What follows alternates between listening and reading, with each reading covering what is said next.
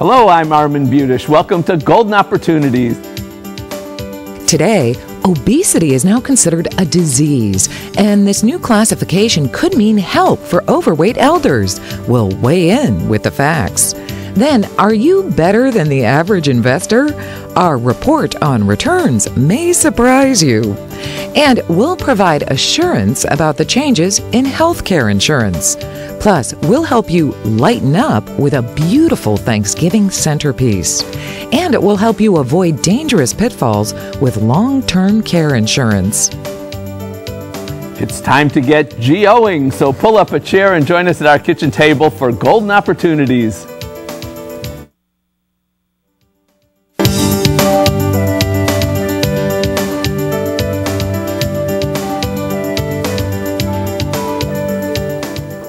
Last June, the American Medical Association joined many other organizations in officially recognizing obesity as a disease. This decision was not made lightly.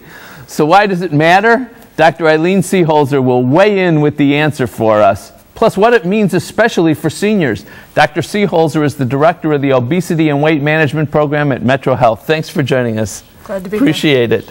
Why does obesity qualify as a disease? Well, it qualifies as a disease for two reasons. The first one is that anytime we have a, a, disease or a chronic condition in this case, it's something that can't be cured, it has to be managed. So folks who have obesity, whether they're just staying the same weight and trying to keep their other health conditions at bay or losing weight and keeping it off, have to do things over their lifetime. It's not like an infection where you can cure it.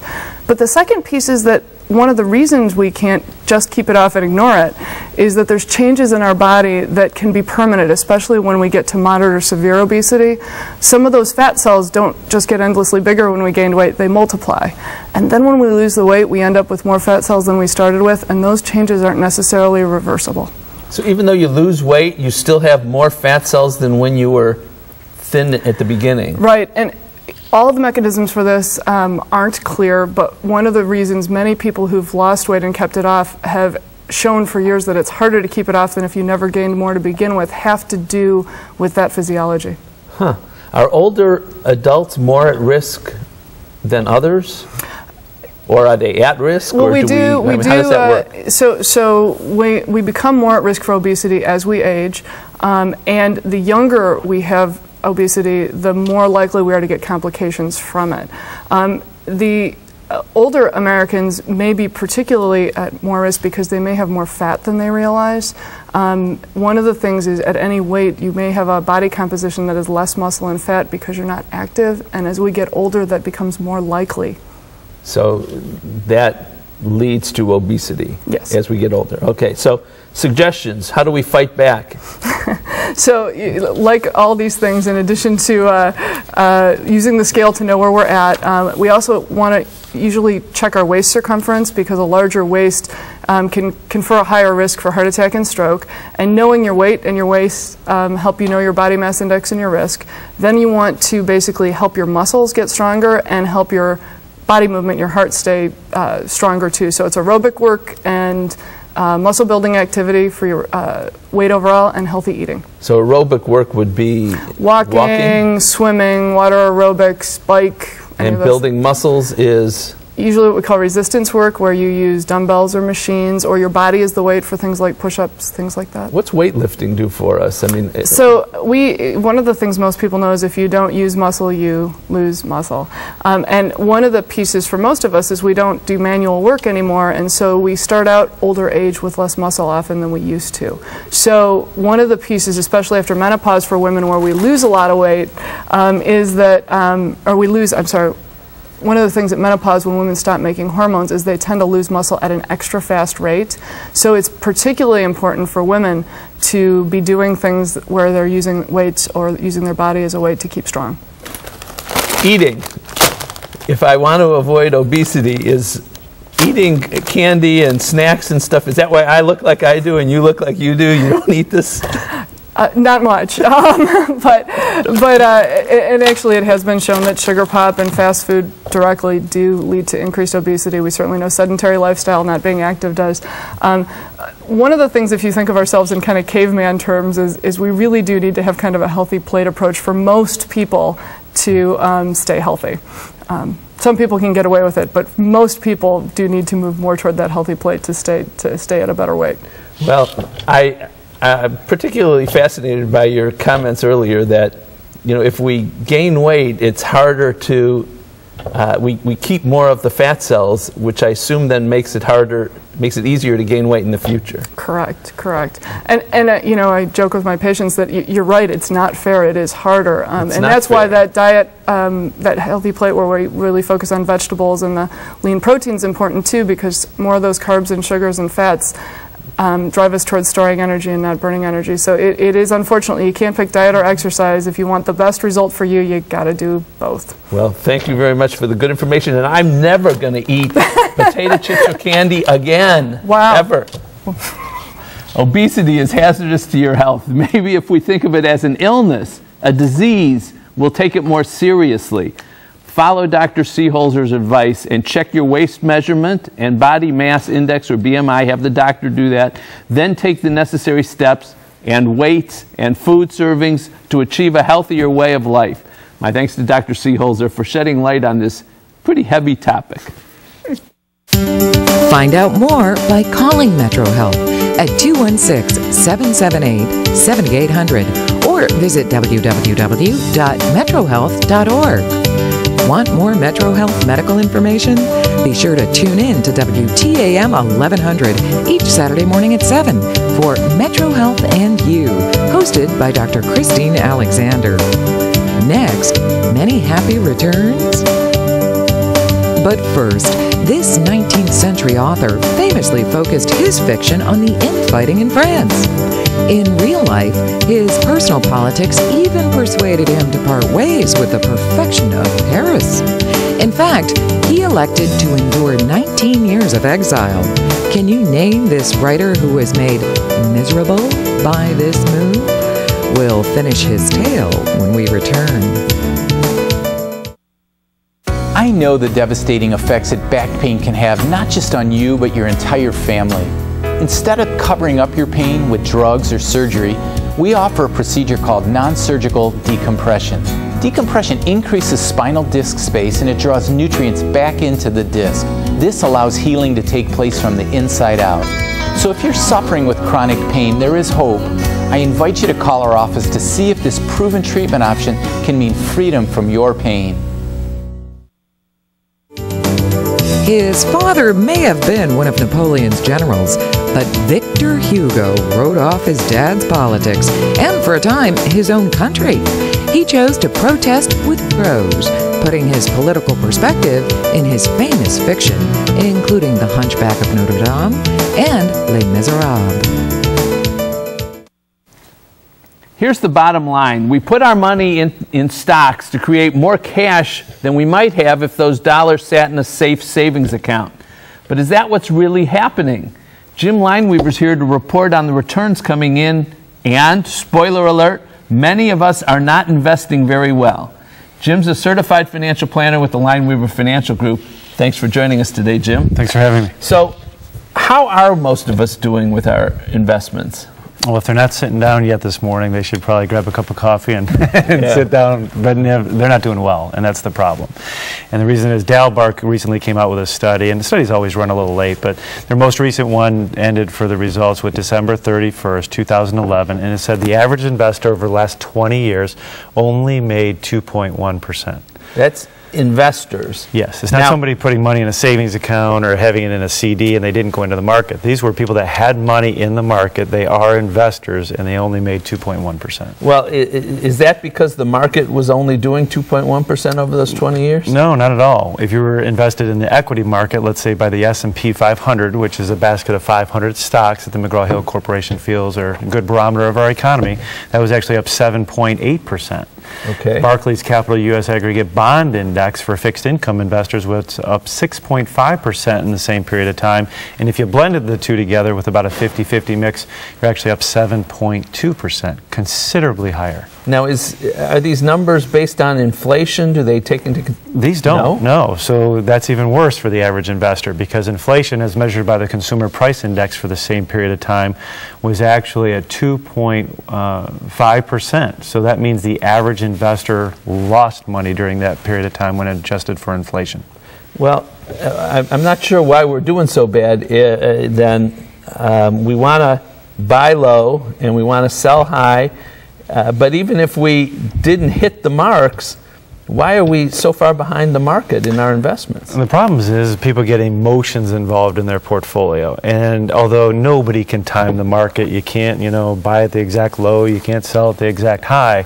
What's going to happen is that usually as, as t- trends move or maybe as the markets come up like it has done recently, people feel they're going to miss out maybe on a big move, so they're going to jump in, not realizing that the market's done extremely well, more than doubled since 2008. So, so is it that we're picking bad stocks, or are we picking the right stocks but selling them and buying them at the wrong times? Well, what this study showed is that they didn't really look at, you know, some of the individual holdings. It looked at overall total return. It found that people's behavior of when they bought and sold, not so much what they bought and sold, was, So the, was behind Is yeah, a problem more than anything yeah. else, and emotions Yeah. because you, you you get scared or you you know. Yeah, and So- that's why sometimes what happens if you can remove yourself from that or deal with a professional that can get those emotions out of it, deal with the facts and what's going on in the economy and everything.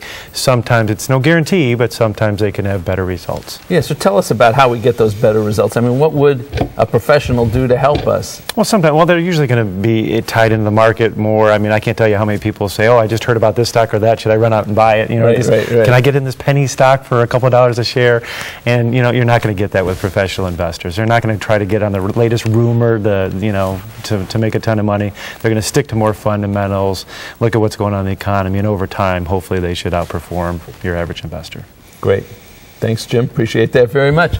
If you want your ROI to mean a good return on investment and not running out of income, be sure to review and rebalance your portfolio and get help. This is difficult. Average investors just have are not experts.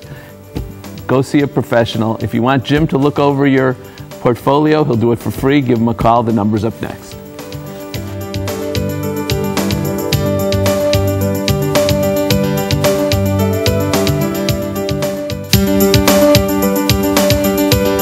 For more information, call the Lineweaver Financial Group at 1 888 313 4009 or log on to www.lineweaver.net. Next, an update on Obamacare. Looking for places to go, things to do? Welcome to our community calendar. Enjoy a spirited discussion this Wednesday at the Independence Library from 7 to 8 p.m. County Archivist Judy Cetina will share stories about the spirits in the Rhodes Mansion, as well as additional information about the county archives. To scare up more information, call 216 447 0160 or take a haunting look at this website www.cuyahoga.library.org. We're less than two months away from big changes in healthcare. January 1st, 2014, many parts of the Affordable Care Act, also known as Obamacare, will take effect. Greg Young is here to hit some of the highlights. Greg's the Director of Strategic Policy and Initiatives at Medical Mutual of Ohio. Thanks for joining us today. Thanks for having me. First of all, how does the new health care law affect Medicare and Medicaid? Well, let's talk about Medicaid first because I think that's the most significant in terms of the impact it's going to make. One of the big goals of the Affordable Care Act, obviously, is to uh, cover those who are not covered. Okay. The thought was that by having this Medicaid expansion in all 50 states, we were going to cover 15 million people. So, you know, what we're doing is we're expanding it to people making 133% of federal poverty level, which means 14,400 for an individual, 29,300 family of four. All right, now that expansion is up to the state, if I understand correctly, and That's correct. Where And- are we in Ohio? Ohio hasn't yet decided to do that, if I'm remembering correctly. You're remembering correctly. About half the states have decided to do it. In Ohio, uh, the governor wants to do it, but he's bumped into some political opposition, so it's still up in the air. Yeah, and uh, I won't ask you your opinion on it. I know my opinion. Medicaid expansion makes a lot of sense, but uh, we're not there yet in Ohio. Many of our viewers are on Medicare. What can they expect when Obamacare goes into effect? And, and that's a great question. The important thing with Medicare for people to realize is that, you know, if they don't do anything, they're going to maintain their existing coverage. But what are the changes? You know, they get the free annual wellness prevention uh, visits and screenings, which are so very important. And also very important is when you look at uh, Medicare Part D or the prescription drugs, there's always been a problem with that donut hole or coverage Yeah, gap right. where they hit that point where they're paying a lot more. Well, by 2020, that's going to be completely gone.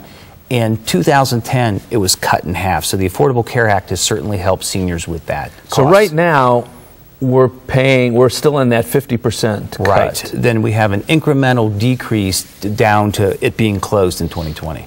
So eventually, um, no more donut hole. Right. Absolutely. Wow, great. All right, so if we don't fall into Medicare or Medicaid, then what? The Affordable Care Act very carefully defines what acceptable coverage is, and Medicare, Medicaid are certainly acceptable coverage. Employer sponsored insurance, but how about those people who don't have it? The law is uh, insistent via that tax that they get coverage. Now, if someone doesn't have coverage, they don't get it, they're going to pay a penalty. Um, the good thing for individuals is historically they have not had that comprehensive coverage that people have had in group insurance. With essential health benefits, with the changes that we see, that's going to change. If you've been denied insurance coverage, um, maybe because of a pre-existing health condition, will that, tell us how that is impacted. It's going to be very significantly impacted. We've had, um, historically, there's been people who've had disabilities, they've had that pre existing condition, as you mentioned. Um, that goes away in 2014. Also, important to note that, you know, the lifetime limit, say it's $3 million and they have some significant illness and they hit that spend and don't have coverage anymore, that also goes away. So, very important. So if we don't have insurance, we can sign up for it. Will we be able to afford it? It's interesting. I think a lot of people will be surprised to know that the level of subsidies that exist out there to help uh, people purchase coverage, up to 400% of federal poverty level for a family of four, around $90,000. Wow. So, very significant help purchasing coverage. Great, great, great information. As always, thanks for coming My back. pleasure. Thank you for having me. The new year will bring a much needed shot in the arm to our healthcare system, especially for those who have been without health insurance. To learn more about how you can benefit, use the website that's coming up next. My thanks to Greg Young for giving us the right dose of information. Learn more about Medical Mutual of Ohio by visiting their website, www.medmutual.com. Next, other ideas can't hold a candle to this craft. It's time to get up and go, an exercise minute on golden opportunities. Hello everybody, I'm Mike Carbon from Breakout Fitness and today we're here to show you how to work the shoulders by doing a lateral to front raise. This is an excellent multi-movement exercise that'll help us strengthen those shoulders. You ready to go? I'm ready. All right, we have our dumbbells here. For this one, we're gonna be standing tall. We want the dumbbells to be facing our hips as we start. We're simply gonna raise them laterally to the side at about shoulder height, bring them right back down to the starting position. Immediately bring them to the front, shoulder height, back down to the quad, and then out to the side. Now that was one repetition. We're looking for 12 to 15 here. Slow and controlled movements. Don't arch your back. Don't sway too much. Just make sure you have the weight under control and you're breathing. How you feeling? It's easier the way I'm doing it. Yeah, that looks good. Just keep your arms a little straighter you got it. All right, everybody. Remember to breathe, slow and controlled movements, and you'll have stronger shoulders. And now it's your turn to get up and go. For your copy of the exercise booklet, please send $1 for postage to Golden Opportunities, 23240 Chagrin Boulevard, Suite 450, Beachwood, Ohio, 44122.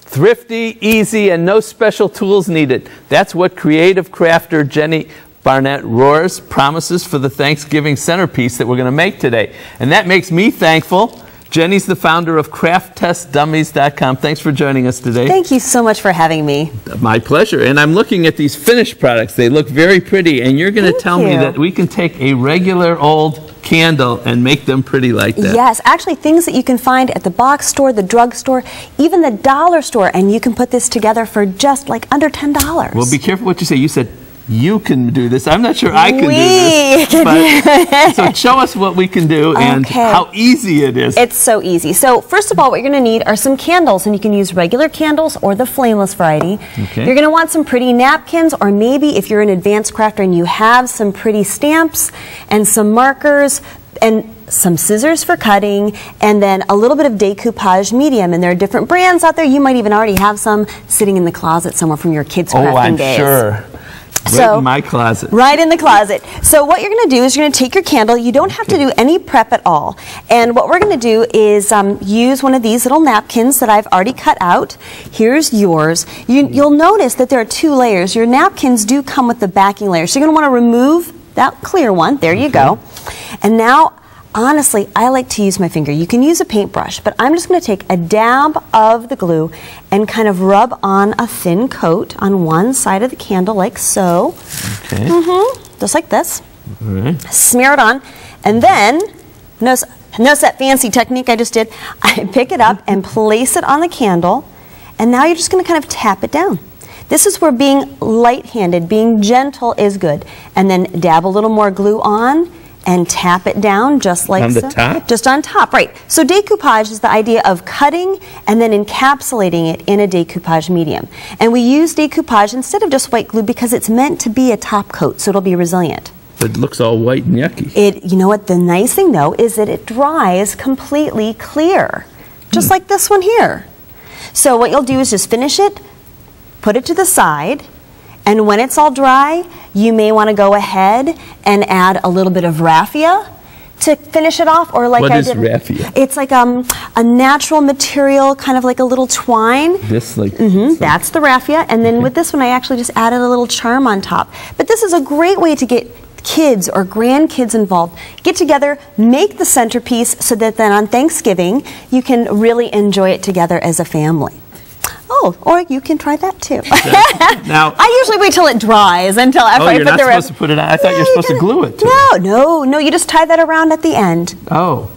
It's kind of it's very easy. And if you do like to do the stamping, you can just go ahead and stamp on it using um, an alcohol ink, and then just give it a little color, and then glue that on to a different candle. Now, one question I have Sure. though. We, when we light the candle, do we burn all this stuff? This is paper. That's an excellent question. Well, for most candles, you'll notice they do things like this. They actually will bur- burn down into the middle of the candle, so you don't have to worry about it hurting the outside. Or you can use a flameless candle or drop a tea light in. But normally, I don't find a problem. But as always, don't leave a burning candle unattended. Very Be good. safe. All right, thank you very much. All right, so this Thanksgiving, you can not only bask in the glow of your loved ones' faces, you can also enjoy the glow from your custom made candles that sit at the center of your table.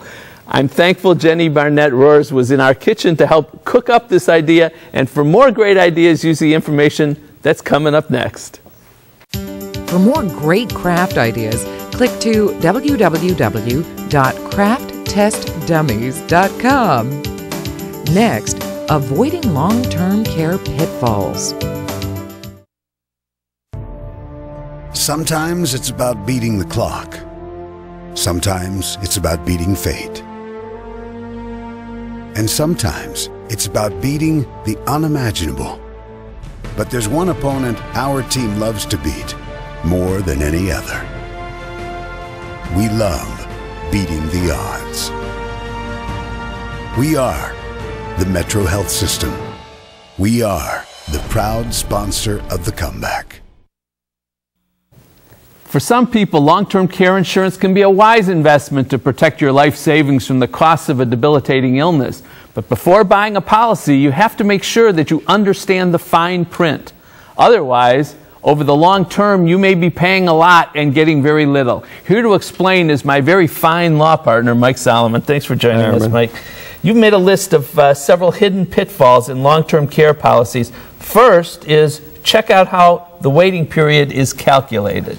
Right. Let's, okay. Most policies have a waiting period between 30 and 100 days. That period, you're on your own. You have to pay your own expenses, and after that, you get coverage. But how do they calculate that waiting period is important. So, for example, let's say you have um, you're at home, you have home health care three days a week, and you have a 60-day waiting period.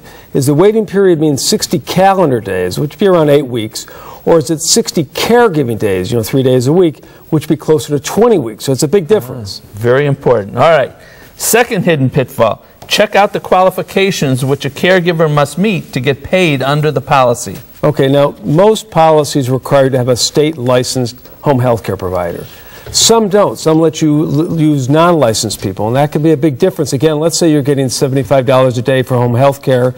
If you have to use, if you can use a friend or a neighbor or a child who isn't licensed, maybe you only have to pay them $10 an hour. If you have to use a state licensed home health care giver, that might be $25 an hour, gives you a lot less care. Sounds good. All right, last one. Your third one. Research how much hassle the home caregiver will face in order to get paid.